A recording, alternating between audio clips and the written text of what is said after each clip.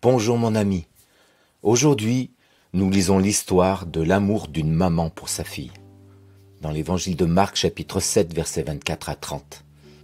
Il est dit, Une femme avait une petite fille, possédée par un esprit impur. Elle vint se jeter aux pieds de Jésus. Cette femme était païenne, syrophénicienne de naissance, et elle lui demandait d'expulser le démon hors de sa fille. Dans le monde spirituel, il existe les anges et les démons. Il arrive que des personnes s'ouvrent à ce monde qui ne nous est pas destiné, qu'on appelle donc occulte, et que les conséquences soient dramatiques. Angoisse, oppression, culpabilité et parfois jusqu'à la possession. Cette femme habitait un pays riche, très prospère économiquement. Ses habitants vivaient aisément.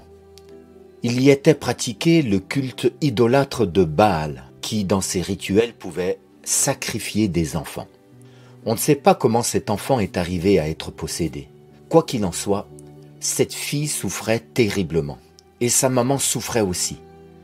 Rien n'était venu au secours de ce drame de vie, ni ses richesses, ni son Dieu. Mais cette femme a entendu parler de Jésus qui libère les captifs. Désormais, rien ne l'arrêtera.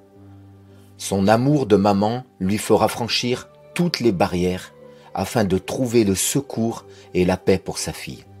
Tout la séparait pourtant de la délivrance que seul Jésus pouvait donner. Sa condition de femme étrangère qui appelait le rejet des Israélites, sa religion avec ses pratiques qui étaient en abomination aux Juifs, et même le test de foi que lui fait passer Jésus avec ses propos peu accueillants.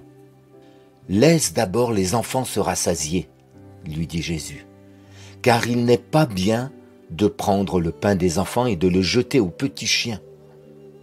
La réponse de cette femme à ces propos peu encourageants est une source de bénédiction pour nous aujourd'hui. Avec foi et humilité, elle s'accroche, elle ne lâche rien. Elle répondit à Jésus, Seigneur, les petits chiens sous la table mangent bien les miettes des petits enfants.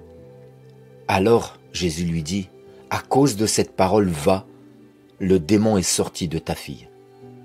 Elle rentra à la maison et elle trouva l'enfant étendu sur le lit. Le démon était sorti d'elle. Mon ami, prends courage, persévère, peu importe que ta foi te semble petite. La puissance de Jésus est grande, elle tu peux toi aussi tout surmonter pour t'approcher de Jésus. Puise tes ressources dans l'amour de Dieu pour toi et dans l'amour que tu as pour tes proches dans le besoin.